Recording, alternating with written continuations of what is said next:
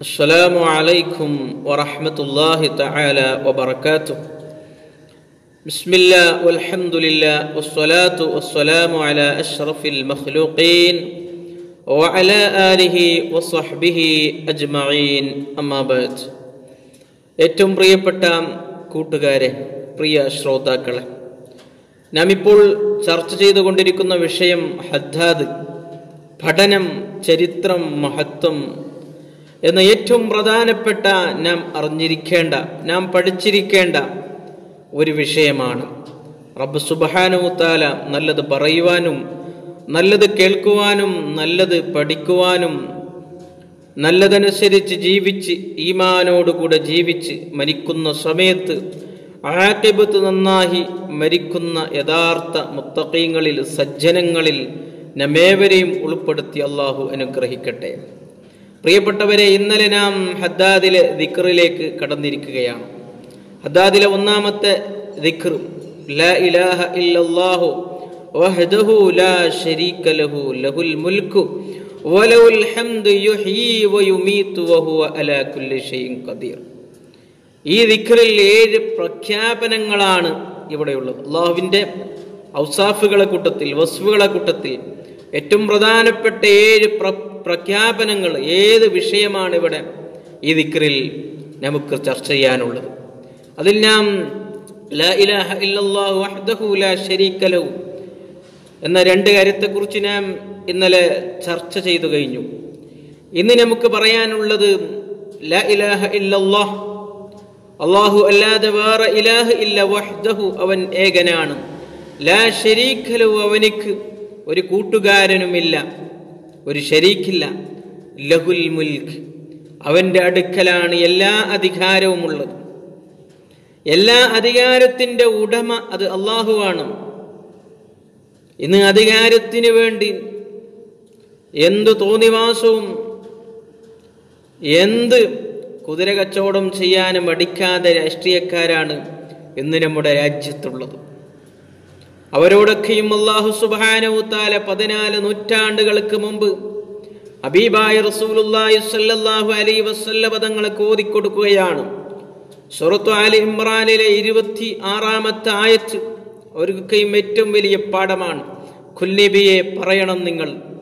ജനങ്ങളോട് നിങ്ങൾ പറയണം അള്ളാഹുമ്മ അള്ളാഹുമ്മ കുലില്ലാഹുമ്മ മാലിഖൽ മുൽഖ് എല്ലാ ലോകത്തിന്റെയും എല്ലാ രാജ്യത്തിന്റെയും ഈ ദുനിയാവിന്റെ ആകാശഭൂമികളുടെ മാലിക്കൽ മുൽക്ക് അത് അള്ളാഹുവാകുന്നു തൂത്തിൽ അവൻ ഉദ്ദേശിച്ച ആളുകൾക്ക് അവൻ അധികാരം നൽകും. അധികാരം നൽകണമെങ്കിൽ അവന്റെ ഉദ്ദേശം വേണം. അതത്ര വലിയ തമ്മാടിയാണെങ്കിലും ധിക്കാരയാണെങ്കിലും സേജാധിപതിയാണെങ്കിലും അല്ല ഉദ്ദേശിക്കണം. അള്ളാഹ് ഉദ്ദേശിച്ച ആളുകൾക്ക് മാത്രമേ അള്ളാഹു അധികാരം നൽകുകയുള്ളൂ.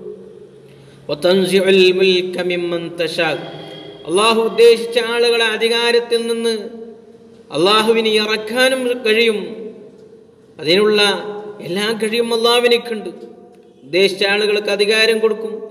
ഉദ്ദേശിച്ച ആളുകളെ അധികാരത്തിന് ഇറക്കാനും കഴിയും. അള്ളാഹ് ഉദ്ദേശിച്ച ആളുകളെ ഇജ്ജത്ത് നൽകും പ്രതാപം നൽകും. അഭിമാനം നൽകും.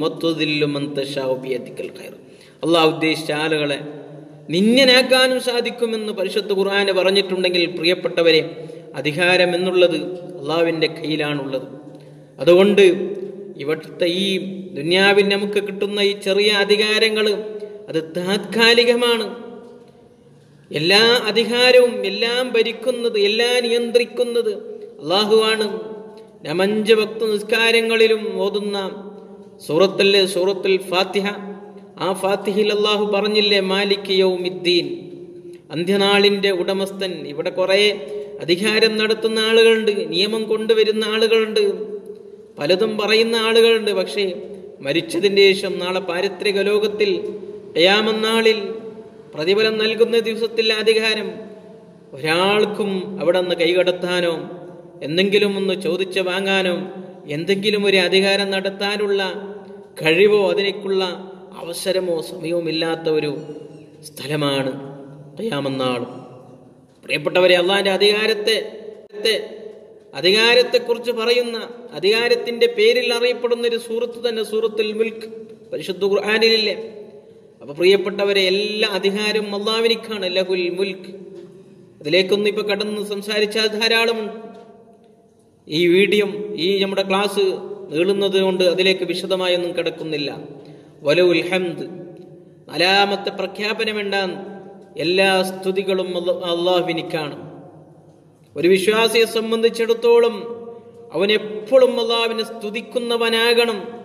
അവന്റെ ഊണിലും ഉറക്കിലും അവന്റെ എല്ലാ അറക്കാത്ത സക്കനാത്ത് അഫ്ആലുകളിൽ അള്ളാഹുവിനെ സ്തുതിക്കുന്നവനാകണം. അപ്പോഴാണ് ഒരാളെ അള്ളാഹു ഇഷ്ടപ്പെടുക. അബിബായ റസൂലുള്ളാഹി സ്വല്ലല്ലാഹു അലൈഹി വസല്ലം തങ്ങൾ പഠിപ്പിച്ചില്ലേ? ദിക്റുകളെ കൂട്ടത്തിൽ ഏറ്റവും ശ്രേഷ്ഠമായ ദിക്ർ ലാ ഇലാഹ ഇല്ലല്ലയാണ് ദുആകളെ കൂട്ടത്തിൽ ഏറ്റവും ശ്രേഷ്ഠമായത് അൽഹംദുലില്ല. അൽഹംദുലില്ലയാണ് ഏറ്റവും ശ്രേഷ്ഠമായ ദുആ. മഹാനായ നബി അലൈഹി ഇസ്ലാമിനെ സൃഷ്ടിച്ച് റൂഹ് കൊടുത്തപ്പോൾ റൂഹ് ഊതിയപ്പോൾ ആദ്യമായി ആദിമ മനുഷ്യൻ പറഞ്ഞത് ആദ്യ നബി പറഞ്ഞത് അൽഹംദുലില്ല എന്നുള്ള ഹംദാണ്. മഹാന്മാർ കിതാബുകളിൽ പഠിപ്പിച്ചില്ലേ? അടക്കമുള്ള ഫിഖഹിന്റെ കർമ്മശാസ്ത്രത്തിന്റെ കിതാബുകളിൽ പഠിപ്പിച്ചു. നമ്മുടെ ദുആകൾ സ്വീകരിക്കണമെങ്കിൽ ഇജാബത്ത് കിട്ടണമെങ്കിൽ അതിന്റെ തുടക്കത്തും തുടക്കത്തിലും ഒടുക്കത്തിലും തുടങ്ങുന്ന സമയത്തും അവസാനിക്കുന്ന സമയത്തും ഹംദ് കൊണ്ടും സ്വലാത്ത് കൊണ്ടും ദുആ തുടങ്ങണം.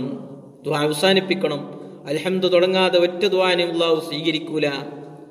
ഏറ്റവും ശ്രേഷ്ഠമായ ഞാൻ പ്രിയപ്പെട്ടവരെ ഭക്ഷണം കഴിച്ചാൽ ഞാൻ അള്ളാഹിനെ സ്തുതിക്കണം. അൽഹംദുലില്ല ഈ ഭക്ഷണം കഴിക്കാനുള്ള കഴിവ് നൽകിയ ഈ ഭക്ഷണം നൽകിയ ഈ അള്ളാവിനിക്കാണ് സ്തുതി. ഈ ഭക്ഷണം കഴിക്കൽ കൊണ്ട് എനിക്കൊരു രോഗവും തരാത്ത അള്ളാവിനിക്കാണ് സ്തുതി.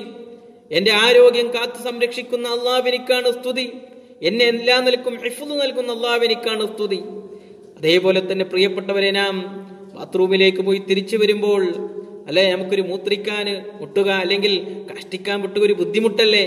ഞാൻ അവിടെയും പറയുന്നു അലഹമുല്ലാഹില്ലതി അത് ഹബ അന്യല്ലതാ എന്റെ ഒരു ബുദ്ധിമുട്ട് തീർത്തു തന്ന അള്ളാഹുവിന് സ്തുതിയാണ് വിശ്വാസിയെ സംബന്ധിച്ചിടത്തോളം അവന്റെ എല്ലാ അറുക്കാത്ത സക്കനാത്ത ഫാലുകളിൽ അള്ളാഹുവിനെ സ്തുതിക്കും. അത് നന്മ കിട്ടുമ്പോഴും നല്ല വിഷയങ്ങൾ അവനെ തേടിയെത്തുമ്പോഴും അവൻ അള്ളാഹു അള്ളാഹുവിനെ സ്തുതിക്കുന്നവനാണ് യഥാർത്ഥ വിശ്വാസി യഥാർത്ഥ മുഗ്മിന് അതുകൊണ്ട് എന്റെ പ്രിയപ്പെട്ടവരെ നാം എപ്പോഴും അള്ളാഹുവിനെ സ്തുതിക്കുന്നവരാകണം. അള്ളാഹു എനിക്ക് തൗഫീക്ക് ചെയ്യട്ടെ. അഞ്ചാമതായി അള്ളാഹു പറയുന്നു യുഹി അള്ളാഹു ജീവിപ്പിക്കുന്നവനാണ്. എല്ലാ വസ്തുക്കളെയും ജീവിപ്പിക്കുന്നവൻ അള്ളാഹുവാണ്. അല്ലാതെ ഇവിടെ ആരെയും പ്രിയപ്പെട്ടവരെ സ്വന്തമായി ഒരാൾ ഒരു ജീവി ഒരു ഉറുമ്പിനെ പോലും ഇന്നെത്രയോ ടെക്നോളജികൾ വികസിപ്പിച്ചിട്ടുണ്ടെങ്കിലും വികസിച്ചിട്ടുണ്ടെങ്കിലും അതൊക്കെയും താത്കാലികമാണ്. എല്ലാ നിലക്കുമുള്ള ഹയാത്ത് ജീവൻ നൽകാനുള്ള കഴിവ് അള്ളാഹുവിനിക്ക് മാത്രമാണ്. എന്നിട്ട് പറയുകയാണ് വയുമീത്. എല്ലാ വസ്തുക്കളെയും ആ ജീവിപ്പിച്ച എല്ലാ വസ്തുക്കളെയും മരിപ്പിക്കുന്നവൻ അള്ളാഹുവാണ്. മരിപ്പിക്കുന്ന അള്ളാഹു മരണത്തെ മരണത്തെ ജീവിതത്തെയും മരണത്തെയും പരാമർശിക്കുന്നു ഈ ദിക്കറിൽ പ്രിയപ്പെട്ടവരെ നാം എപ്പോഴും ഓർക്കേണ്ട ഒരു കാര്യമല്ല മരണം. ജീവിച്ചാൽ മരണം നിർബന്ധമാണ്. എല്ലാ വെള്ളിയാഴ്ചകളിലും ഓതൽ സുന്നത്തുള്ള സൂറത്താണ് സൂറത്തുൽ ജുമ ആ ജുമ സൂറത്തിൽ ഒരായത്തുണ്ട് ഇന്നൽ കുൽനബിയെ പറയണം മിന്നൽ മൗത്തല്ലതി തഫിറൂന ഫഇന്നഹു എല്ലാ ആഴ്ചകളിലും വെള്ളിയാഴ്ചകളിലും നമ്മുടെ പള്ളികളിൽ കേൾക്കുന്ന ഒരു ആയത്താണ്. നബിയെ പറയണം ഇന്നൽ മൗത്തല്ലതി തഫിറൂന മിൻഹു ഫഇന്നഹു മരണം നിങ്ങളുടെ മുമ്പിലുണ്ട് അതിൽ നിന്ന് ഓടി രക്ഷപ്പെടാൻ ആർക്കും സാധ്യമല്ല അത് പിടികൂടുക തന്നെ ചെയ്യും. അതുകൊണ്ടല്ലേ റസൂൽ പറഞ്ഞത് അക്തിറു ദിക്റ നിങ്ങളുടെ എല്ലാ രസങ്ങളെയും ചിറികളെയും എല്ലാ ആഘോഷങ്ങളെയും മുറിച്ചു കളയുന്ന മരണത്തെ നീ ചിന്തിക്കണം മരണത്തെ ഓർക്കണം. എപ്പോഴും നിന്റെ മനസ്സിലുണ്ടാകണം. രാവിലെ ആയാൽ വൈകുന്നേരമാകും. വൈകുന്നേരമായാൽ രാവിലെ ആകുമെന്നൊരു ചിന്ത നിനക്ക് വേണ്ട. നീ ഒരു യാത്രക്കാരൻ ആണ് നീ ഒരു യാത്രക്കാരനാണെന്നുള്ളൊരു ബോധം നിനക്കുണ്ടാകണം എന്നല്ലേ പ്രിയപ്പെട്ടവരെ ഖുർആാനും ഹദീസും പറഞ്ഞത്?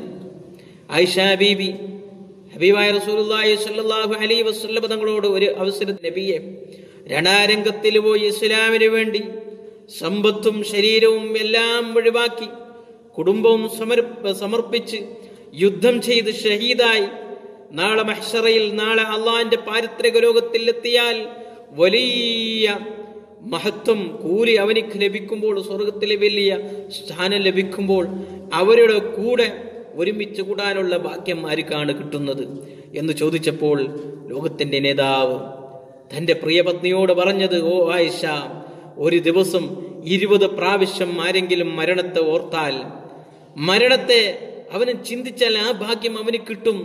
എല്ലാം ഒഴിവാക്കി കുടുംബവും സമ്പത്തും മധുരും ശരീരം ഒഴിവാക്കി രണാരംഗത്തിൽ പോയി പൊരുതി ഇസ്ലാമിന് വേണ്ടി യുദ്ധം ചെയ്ത് ഷഹീദായ മനുഷ്യനിക്ക് കൊടുക്കുന്ന കൂലിയാണ് ഒരു ദിവസം ഇരുപത് പ്രാവശ്യം മരണത്തെ ഓർത്തവനിക്ക് മരണത്തെ സ്മരിച്ചവനിക്ക് അള്ളാഹു കൊടുക്കുന്നെന്ന് ലോകത്തിന്റെ നേതാവ് സ്വന്തം ഭാര്യയോട് പറഞ്ഞിട്ടുണ്ടെങ്കിൽ പ്രിയപ്പെട്ടവരെ ഒരു ദിവസം നാം ഒരു പ്രാവശ്യമെങ്കിലും അതിനടുത്ത് ഓർക്കണ്ടേ? അള്ളാഹു സുബാനോ തല മരിക്കുന്ന സമയത്ത് ഇമാനോടുകൂടെ മരിക്കാൻ അള്ളാഹു നമുക്ക് തൗഫീക്ക് ചെയ്യട്ടെ.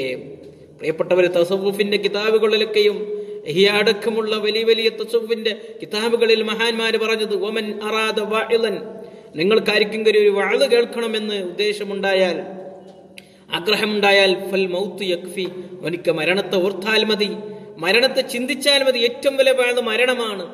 മരണത്തെ ഓർത്താൽ പിന്നെ അവനിക്ക് ഒരു കുറ്റത്തിലേക്കും ഒരു തെറ്റുകളിലേക്കും അവനിക്ക് പോകാനുള്ള സമയമുണ്ടാകൂല സമയമുണ്ടാകൂല മനസ്സ് സമ്മതിക്കൂല. അതല്ലേ പ്രിയപ്പെട്ടവർ ആയിഷ ബീവിയോട് ഒരു സ്ത്രീ ഒന്ന് ചോദിക്കുകയാണ്. പ്രിയപ്പെട്ട ആയിഷ ബീവിയെ എന്റെ ഹൃദയം കഠിനമായ ഹൃദയമാണ് ഹൃദയത്തിൽ സ്നേഹമില്ല. ഹൃദയത്തിൽ അത്രയും നല്ല കുടുസാണുള്ളത് അതുകൊണ്ട് ആ ഹൃദയം ഒന്ന് നല്ല വിശാലമാകാൻ ഒരു കാര്യം പറഞ്ഞു തരണമെന്ന് ചോദിച്ചപ്പോൾ പറഞ്ഞപ്പോൾ ആയിഷാബി പറഞ്ഞു നീ മരണത്തെ ചിന്തിക്കുക മരണത്തെ ഓർക്കുക എന്ന ഉപദേശമാണ് പറഞ്ഞത്. കുറച്ച് കഴിഞ്ഞപ്പോൾ ആ പെണ്ണ് സ്ത്രീ വന്ന് പറയുകയാണ് ആയിഷാബി നിങ്ങൾ ആ പറഞ്ഞ ഉപദേശം ഞാൻ കേട്ടു. അത് ജീവിതത്തിൽ പകർത്തിയതുകൊണ്ട് എന്നെന്റെ ഹൃദയം വിശാലമാണ്. ഹൃദയത്തിൽ നല്ല സമാധാനമുണ്ട്.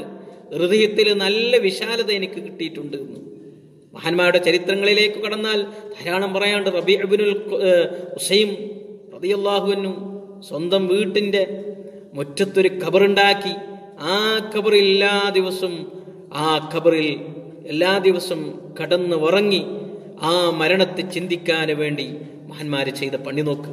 സ്വന്തം ഖബറെടുത്ത് അതെല്ലാ ദിവസവും പോയി കടന്നിറക്കും നഫീസ് ഹബീബ് സ്വന്തം ഖബറുണ്ടാക്കി എത്ര ഖത്തുമിൽ ഖുർആാനുകളാണ്. സ്വന്തം ഖബറിൽ പോയി ഇരുന്ന് ഓതിയത്. അങ്ങനെ മഹാന്മാരുടെ ചരിത്രങ്ങളിലൊക്കെയും ധാരാളം പറയുന്നുണ്ട്.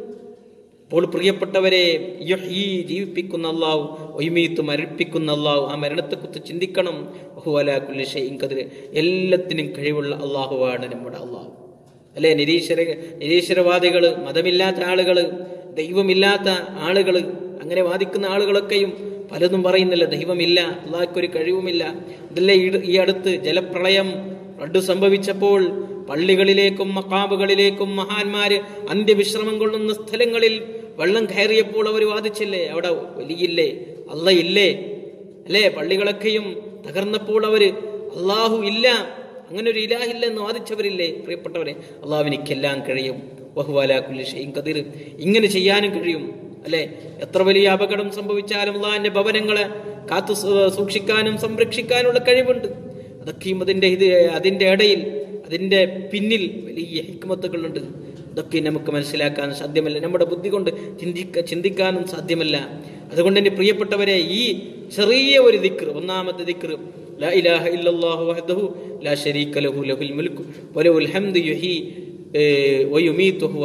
ഷൈഇൻ ഖദീർ. ഏഴ് പ്രഖ്യാപനങ്ങളാണ്. അള്ളാഹുവിന്റെ ഏഴ് ഔസാഫുകളാണ് ഇതിൽ പരാമർശിക്കുന്നത്. ഇതിൽ നാം ചർച്ച ചെയ്ത് അള്ളാഹു സ്വീകരിക്കട്ടെ. നല്ലത് പറയുവാനും നല്ലത് കേൾക്കുവാനും നല്ലതനുസരിച്ച് ജീവിച്ച് മരിക്കാനും അള്ളാഹു നമുക്ക് തൗഫീക്ക് ചെയ്യട്ടെ. ഇത്തരത്തിലുള്ള ക്ലാസ്സുകളെയും ഇത്തരത്തിലുള്ള ദീനി അറിവുകളിലേക്കും മറ്റുള്ള ആളുകളിലേക്ക് നിങ്ങൾ എത്തിച്ചു കൊടുത്താൽ നിങ്ങൾക്കും വലിയ നന്മകളാണ് അള്ളാഹു നൽകുന്നത്. അള്ളാഹു അതിക്ക് തൗഫീക്ക് ചെയ്യട്ടെ അവസരം നൽകട്ടെ. ആമീൻ നബി റഹ്മത്ത് റഹ്മർ റാഹിമീൻ. അസ്സലാമു അലൈക്കും.